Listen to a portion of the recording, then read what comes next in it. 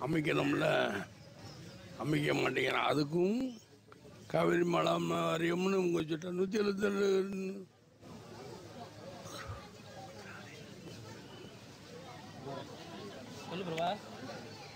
ஆ.